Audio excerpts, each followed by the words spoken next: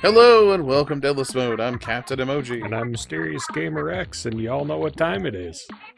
I mean, you know, update time. We're updating. We Sure, put out videos. It's a thing we do. And more importantly, it's a Splatfest announcement. Yes, it is. These always seem to catch Marina by surprise. Always and forever. You know, Because- you gotta you gotta admire a good bit. Well, I mean, she does do most of the heavy lifting, so she's probably very busy all of the time. Yeah. I'm actually pretty excited about this one. Uh, I mean, it's all fantasy stuff, but uh, you know, different So- fantasy stuff. Knights vs. Wizards. Neat. I'm gonna correct Marina here. Timing could have been better. Three months ago. Back when you could buy amiibos off the shelf. Yes. Uh, that said, I want this fresh fish game they're talking about. That would be really cool, actually.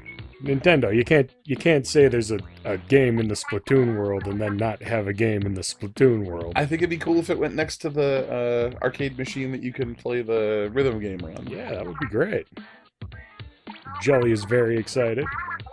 We got a Octoling gal who's very good at shooting things, also very excited. They have the hairpin, They have the hairpin. the maxing strength and intelligence. Of course, Marina would know how to min max. She's the one of the two that knows how to do math. And Pearl's not, so that's why she chooses Knight. They're much simpler.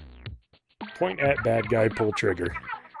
I mean, it is easier to learn like role-playing games and junk as the physical class, rather than having to read the extra book of stuff. Yeah. They, they can do magic tricks though. Prestidigitation is just the It's bomb. the bread and butter spell of the mage class. And also that. Yes, they do. and they typically have a low enough wisdom score that they didn't know you were being sarcastic. battle pajamas. it's true. Yeah.